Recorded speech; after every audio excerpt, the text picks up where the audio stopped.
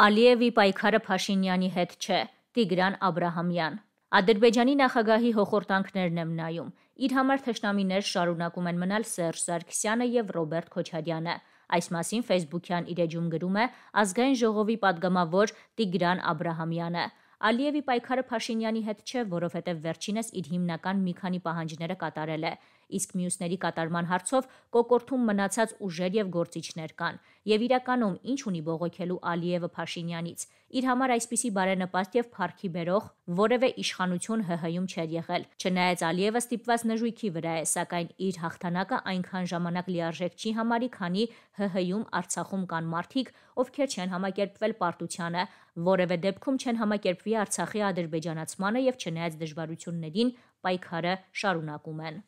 Ալիևը արձագանքել է Հայաստանի Հանրապետության վարչապետ Նիկոլ Փաշինյանի հայտարարություններին։ Հայաստանը պետք է հաստատի Բաքվի նկատմամբ տարածքային պահանջների բացակայությունը, հայտարարելով, որ Լեռնային Ղարաբաղն Ադրբեջանի մաս է։ Այս մասին պետական ASTV հերոստալիքին տված հարցազրույցում հայտարարել է Ադրբեջանի նախագահ Իլհամ Ալիևը։ Հայաստանը, որը ժամանակին ասում էր Ղարաբաղը Հայաստանը եւ վերջ, այսօր պետք է ասի մեր Ղարաբաղը Ադրբեջան է։ Հայաստանը, որը հայտարարել է Ալմա Աթայի հրճակագրի հիման վրա խաղաղության պայմանագրի իր պատրաստակամության մասին, այժմ պետք է պաշտոնապես հայտարարի, որ Ղարաբաղն Ադրբեջան է, ասել է Իլհամ Ալիևը։ Հայաստանը ըստ Ալիևի սկզբունքորեն համաձայն է խաղաղ պայմանագրի հարցում ադրբեջանական մոտեցմանը, որովհետև այլ տարբերակ չկա։ Այդ իսկ պատճառով Հայաստանը պաշտոնապես ճանաչեց Ադրբեջանի տարածքային ամբողջականությունն ու ինքնիշխանությունը անցյալ տարվա հոկտեմբերին Պրահայում եւ Սոչիում կայացած հանդիպումներում։ Այսինքն համաձայնել է, որ Ադրբեջանի եւ Հայաստանի միջև սահմանները պետք է որոշվեն 1991 թվականի Ալմա-Աթայի հրճակագրի հիման վրա, ասել է Իլհամ Ալիևը։ Հիշեցնենք, այսօր ազգային ժողովում ՀՀ վարչապետ Նիկոլ Փաշինյանը հայտարարեց, որ ՀՀ-ն լիարժեք ճանաչում է Ադրբեջանի տարածքային ամբողջականությունը եւ ակնկալում, որ Ադրբեջանն էլ նույնը կանի։ Չի փրթում։ Հրապարակ եք վերապահում կամ Արլիսում դրած է հարգելի սիրելի հայրենակիցներ։ Բացեք բանը Ալմաթայի հրճակագիրը անկախ պետությունների համագործակցություն ստեղծելու մասին մեր վերապահումը Արլիսում տակը դրած է։ Կարդացեք եւ դատեք, ինչ ասեմ։ Ծովինար Վարդանյան։ Շնորհակալություն։ Մեծարգո պարոն վարչապետ, նախ ուզում եմ շնորհակալություն հայտնել զեկույցը ներկայացնելու համար։ Դրա բովանդակության շուրջ ասելիք շատ կա, սակայն ես ձեր այսօրվա ելույթից առանձնացրեցի մի շատ կարևոր ուղերձ, ըստ էության դուք այսօր հնչեցրեցիք ճշմարտությունը գտնելու եւ ճշմարտությանը առերեսվելու կոչ։ Եթե ճիշտ եմ հասկացել։ Եվ այսօրվա քննարկումից ակնհայտ է դառնում, որ ըստ էության աղմուկը եւ քաղաքական աղմուկը փորձելու է ստվերել եւ կոչը եւ այդ ճշմարտությունը գտնելու գործընթացը։ Հարցս հետեւյալն է. Բացի արկա իրավական գործընթացները, ինչ այլ հնարավորություններ կամ լուծումներ լուծումներ եք տեսնում, այդ թվում գուցե ինստիտուցիոնալ մակարդակում, ի վերջո այդ գործընթացը հաջողելու եւ դրա շուրջ այսինքն գտնված ճշմարտության կամ իրականության առերեսման շուրջ կոնսոլիդացիա ձևավորելու համար Շնորհակալ եմ հարցի համար։ Գիտեք, ես նույնիսկ դա կոչ չէի անվանի, կամ եթե կոչ է, այդ կոչը ես առաջին հերթին ինձ եմ ուղղում։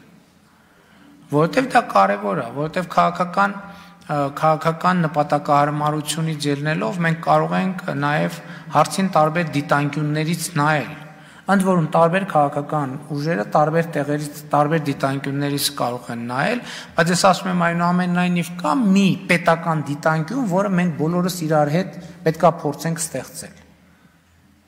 Ես այդ խնդիրն եմ առաջ քաշում։ Որովհետև հայրենասիրության մոդելի մասին որ խոսում ենք, կարողա պարզվի, որ մենք մի մի ուրիշ պետություն ավելի շատ ենք սիրում, քան թե մերը եւ գործնական եւ էմոցիոնալ առումով։ Այսինքն այս պատմության մեջ, որ մեր հարգելի ընդդիմադիրները բարձրացնում են, մի հատ մեծ կտոր կա, որի մասին չեք խոսում, ոչ իրանք, ոչ մենք։ ճիշտ ենք անում սկզբունքորեն, որովհետև պետք չի դրա մասին խոսել, բայց նորությունն է նա, որ դրա մասին արդեն բոլորը գիտեն, անկախ նրանից թե առլիս մտնել կարդալ գիտեն, թե չգիտեն։ Որտեւ այս ամեն ինչը թափանցիկ է տեղի ունենում, չէ, բոլորից աչքի առաջա տեղի ունենում։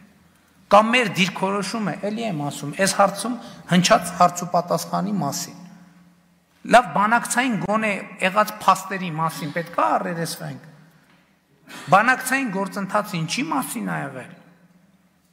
Կետ առաջին Ադրբեջանի բանակցային գործընթացի նպատակներն են։ Կետ առաջին Ադրբեջանի շրջանները թվարկած շրջանների վերադարձը Ադրբեջանի։ Այդ ժառանգություն եմ ես ստացել։ Դրանից առաջ այս ձևակերպում ա եղել,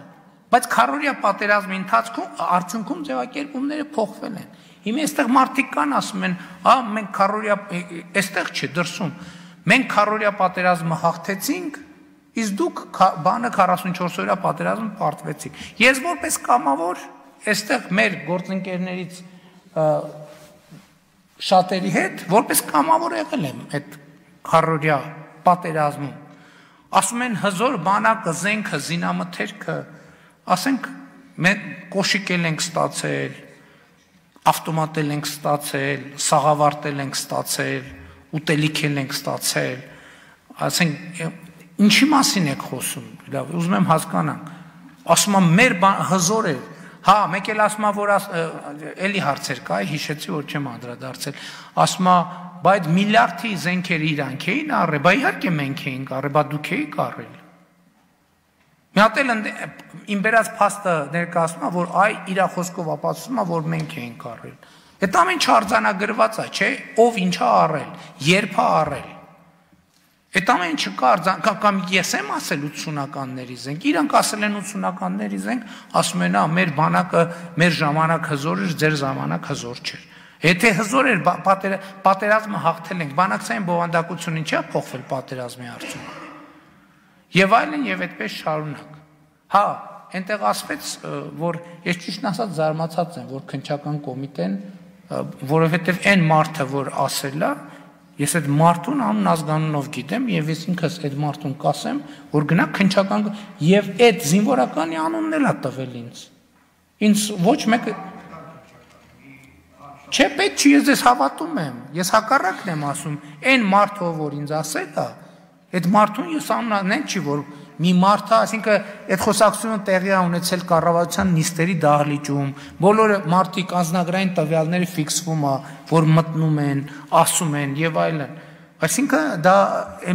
ինձ համար զարմանալի է ճիշտն ասած,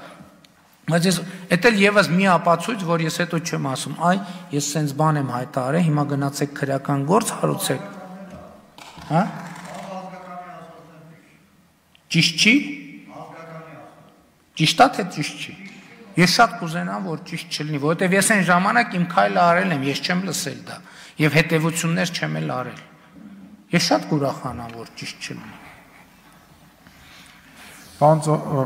Տիկին Ծովինար Վարդանյան արձագանք խնդրեմ։